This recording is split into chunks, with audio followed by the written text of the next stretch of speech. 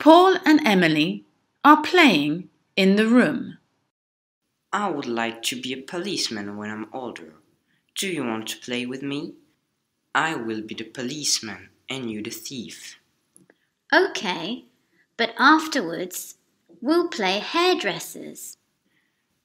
What job would you like to do later on?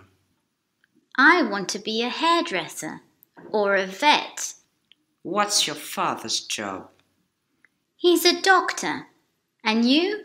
What's your father's job? He's a fireman and my mother is unemployed. Okay now, where are the scissors to play hairdressers? What? Are you joking? Yes, it's just a joke.